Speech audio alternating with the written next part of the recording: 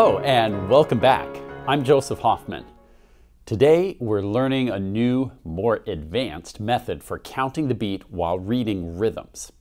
Once you know this more advanced method, you'll be ready for today's rhythm challenge. So let's come to the heartbeat mat to get started. You're already familiar with the fact that quarter notes each take up one full beat. Ta, ta, ta, ta. But eighth notes can fit two inside one beat. They share the beat. T, T, T, T, T, T, T, T.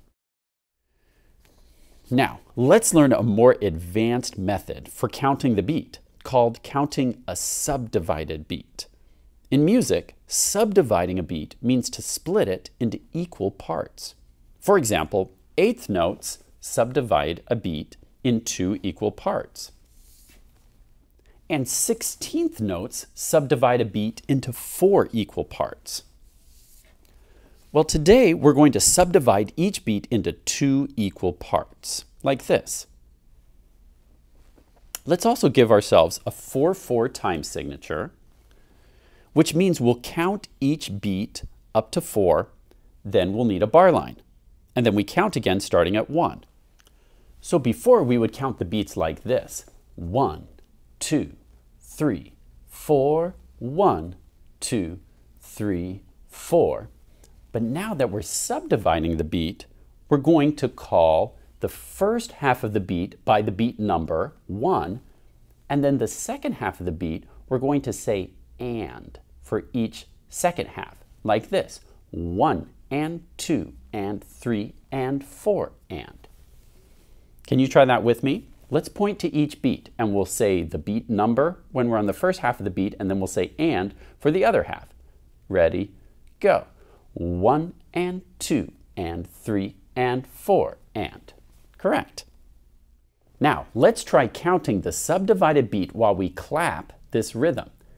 You'll notice that I replaced the bar line here with a repeat sign, which means once we get done with beat 4, we'll go back to beat 1 and do it one more time.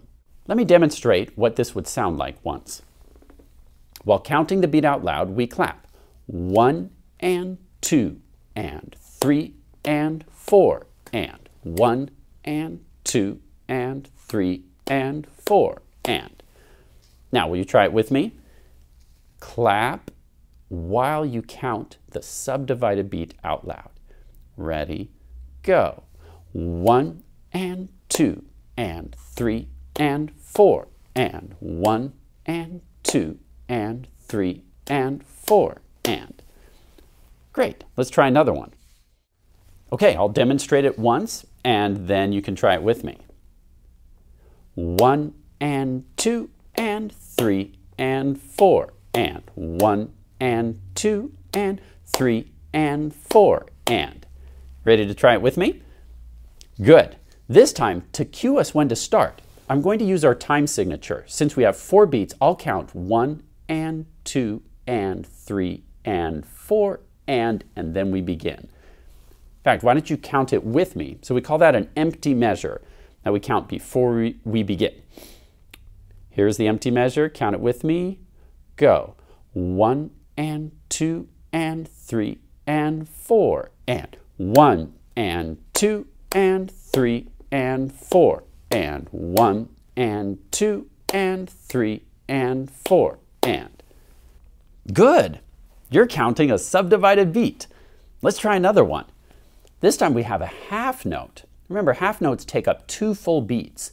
So with our subdivided beat, it would take up one and two and, and then we keep going on three and four and. A quarter note takes up the first half of a beat and the second half of a beat. Takes up the four and the and. I'll try it once by myself, then you can join me. One and two and three and four and one and two and three and four and. Now try it with me. Count our empty measure and then we start. Go. One and two and three and four. Go. One and two and three and four and. One and two and three and four and. Great. Now, here's a new one for you. Remember that when we draw two eighth notes with flags, it makes the exact same sound as if we were to draw them this way. Two eighth notes with a beam, two eighth notes with a flag. They sound identical, T, T, or one and. So this rhythm would be one and two and three and four and one and two and three and four and. When you have a rest and you're counting the beat, you still count it. Remember, this beat is still there, two and. There just happens to be silence during that beat. So we won't clap, but we'll still count the beat to show that it's still taking up time in the music. So count out loud with me while we clap. Here's the empty measure. Ready, go. One and two and three and four, go. One and two and three and four and one and two and three and four and. Now, let's add a new kind of rest. It's called an eighth rest, and it looks like this. It takes up half of a beat, just like an eighth note does. In fact, if you were to add two eighth rests together, it would equal a quarter rest. So this quarter rest makes the same sound as two eighth rests, a full beat of silence. For fun, let's change our time signature now to 2-4, which tells us we'll have two quarter note beats in each measure, which means we'll need another bar line here and here. Now let's try clapping some rhythms using eighth rests. Here's a rhythm made up of all eighth rests and eighth notes. So every rhythm that you see takes up exactly half of a beat. We have the one and the and of one, the two and the and of two, the three, the and of three, the four, the and of four. This rhythm would sound like this. One and two and one and two and. Remember, whenever you have a bar line, that's a signal that the next beat will be one. We only have two beats in each measure. Now, I didn't do the repeat sign, but when we do it together, we'll take the repeat. Okay, let's try it together now. We'll count an empty measure of one and two and, since we're in 2-4, and then we begin. Try it with me. Count out loud and clap. Here's the empty measure. Ready, go. One and two and one and two and one and two and one and two and one and two and. Great job! Now here's a new rhythm for you. Now you'll notice in every beat we have a rest on the first half of the beat, an eighth rest I should say. Then on the second half of the beat we have an eighth note. So it will sound like this, one and, two and, one and, two and. We call this kind of rhythm a syncopation. Syncopation is when you have notes occurring primarily on the second half of the beat, or what we're calling the and of the beat. Now, count the empty measure with me and let's try it. Ready, go. One and two and one and two and one and two and one and two and one and two and. Great job. All right, let's try this rhythm. What happened? That's right.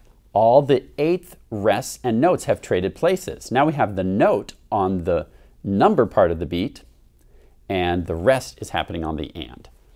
Let's try it. Go ahead and try it with me. We're going to count the empty measure and then clap and count. Ready, go. One and two and one and two and one and two and one and two and one and two and. Here's one more rhythm with eighth rest to try.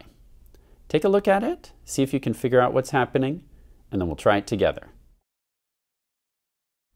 Get your hands in position to clap and count with me. Here's the empty measure.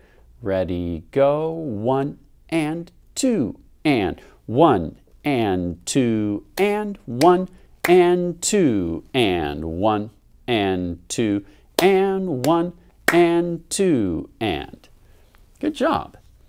Now, before we go on, is there another way we could have drawn this beat to make it still sound the same? That's right. We could have just drawn with a quarter rest. It would sound the exact same as before with two eighth rests. What about in this beat? Is there anything we could have drawn in there to give us the same sound?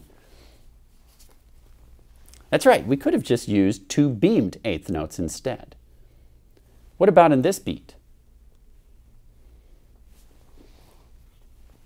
That's right, that's another place we could have used a quarter rest instead, and the rhythm would have sounded the exact same as before. Now, one more rhythm we need to look at before we take the rhythm challenge is the dotted quarter note. You might remember this rhythm from Ode to Joy. We had ba, ba, ba in that piece that we learned. Now, what we didn't talk about is that a dotted quarter note takes up exactly one and a half beats. Or maybe we did say that. But now that you know how to count a subdivided beat, it will make even more sense. We have one and then because of this dot, it extends halfway into beat two. So we say two without doing anything because this note is still going. And then on the and of two, we have a note to clap. So it would sound like this, one and two and. You have to extend this all the way through two, and then on the and we clap. Let's try just clapping this measure together. Can you count the beat with me? Ready, go. One and two and. One more time. Ready, go. One and two and. Now let's try this full line, these two measures of rhythm with the repeat. Count the empty measure with me. Ready, go. One and two and. One and two and. One and two and. One and two and. One and two and. Great. You're ready for the rhythm challenge. All right, here's your first rhythm challenge. For this, what you're going to do is take a look at all the notes and try to clap the rhythm while you count the subdivided beat out loud. You're going to do it by yourself without my help. Then, once you've tried it, I'll show you the correct answer and you can check and see how you did. Okay? So go for it. Try to clap this rhythm while you count the subdivided beat.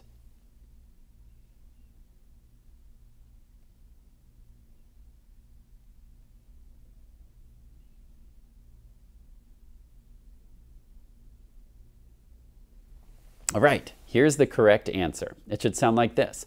One and two and one and two and one and two and one and two and. How'd you do? If you got it right, then let's go on. Otherwise, you can always rewind and try it again. Here's your next rhythm challenge. Give it a try on your own, and then I'll show you the correct answer.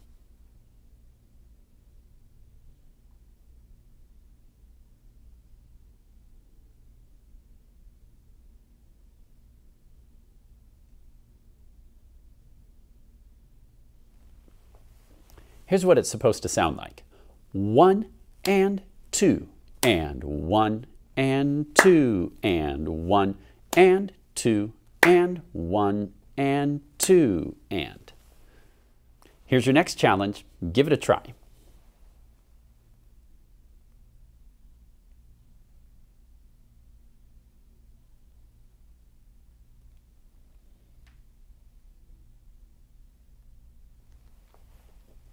Here's what it sounds like. One and two and one and two and one and two and one and two and. Here's your next rhythm challenge. Give it a try.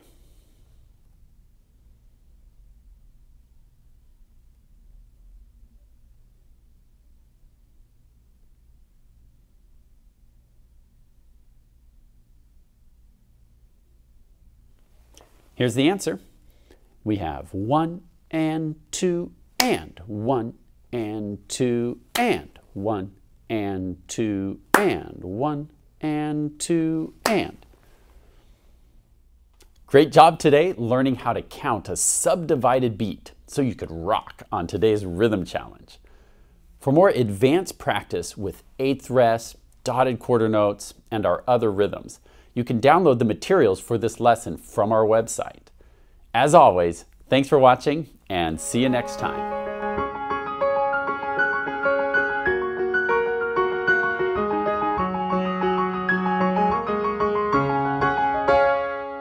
One and two and three and four and one and two and three and four and one and two and three and four and one and two and three and four and